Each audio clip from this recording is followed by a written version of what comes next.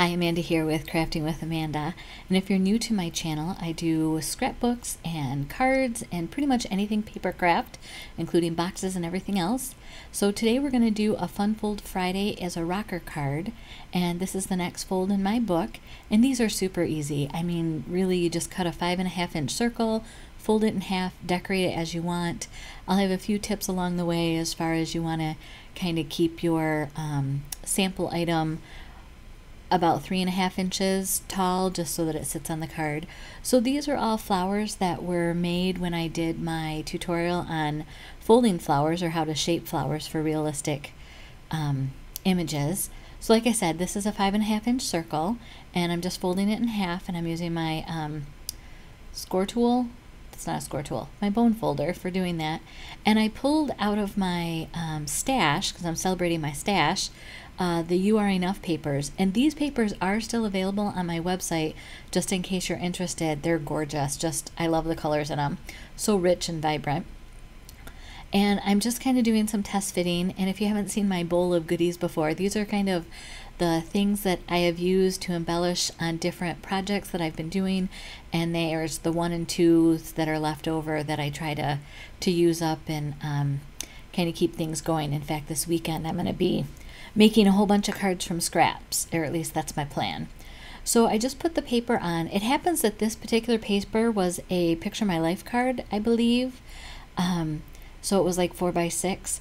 Maybe it was bigger. So maybe it was just another scrap and I don't know what I'm talking about. So this is the Heartfelt Wreath um, Stamp and Thin Cut set.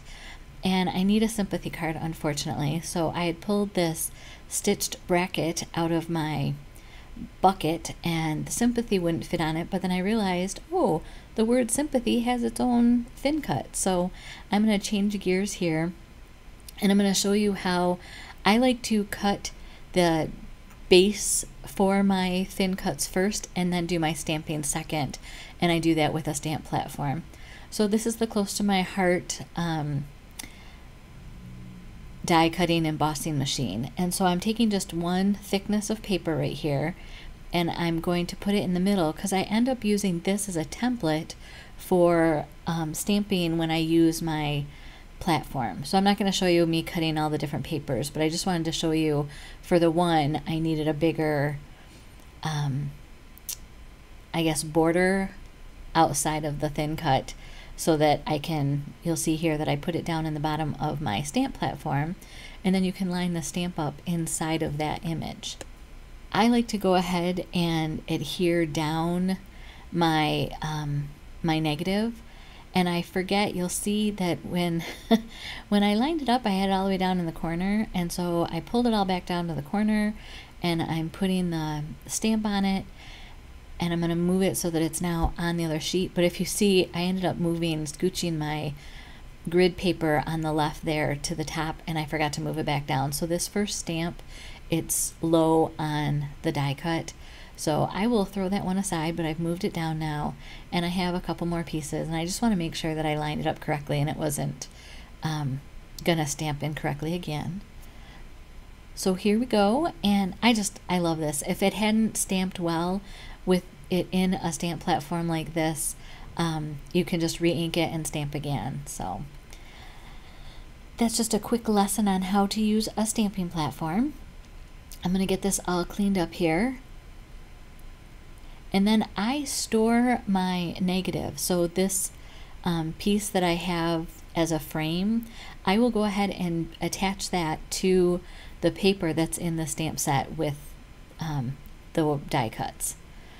So now I am, I loved this flower and it's funny, as I rotated this flower just to see if it would look differently, um, I was surprised at how where the leaf is really made a difference to my eye for how to place it. So just as something to keep in mind, once you put an embellishment down, if it doesn't quite feel right, go ahead and turn it, rotate it, you know, see if just changing a little bit of an angle makes a difference to you because I'm always I, I surprise myself when things like that happen. So now I'm just pop dotting the uh, word sympathy on this card. And um, if you make these cards, I highly recommend that you stamp the inside before you decorate the front cover with bulky items. Because when you open this up, the flower ends up being behind the inside of the card, and that makes it harder to stamp. So I'm switching over here, and you can see how I had to stamp it um, kind of holding that front cover open. So I recommend do what I say, not what I do. So that's the first one done. Seriously, how simple, easy is that? So now I have these other uh, flowers that I had cut, like I said, for that flower shaping video. And if I remember, I will try and put a link here so that if you want to learn about shaping flowers, uh, that video is right here and easy for you to get to. If you're new to my channel and haven't seen my um, injured finger there with the blue tape on it, um, I did that when I was putting new covers on some folding camp chairs and I got my finger caught right in the hinge at the wrong place. So I'm going ahead and going to do the same thing to cover the front of two more of these circles just because it went so fast and I thought, hey, why not just do a couple more on screen, show you seriously how quick and easy these are. Add your glue, line it up on your paper, um, press it down to kind of spread that glue out a little bit, let it dry. Seriously, just fussy cut the circle out. Or if you want, you can, when you cut the circles for your bases, go ahead and cut five and a half inch circles and then cut those in half. Um, and then you can just put those right on top. Or you could actually cut, let's say, a five and a quarter inch circle and cut it in half, and then you would have a border around your outside edge from your base. So here I'm pulling out some more flowers just to see what might work. I really like that that one with the green in it. So I'm, I'm spoiler, I'm going to use that one.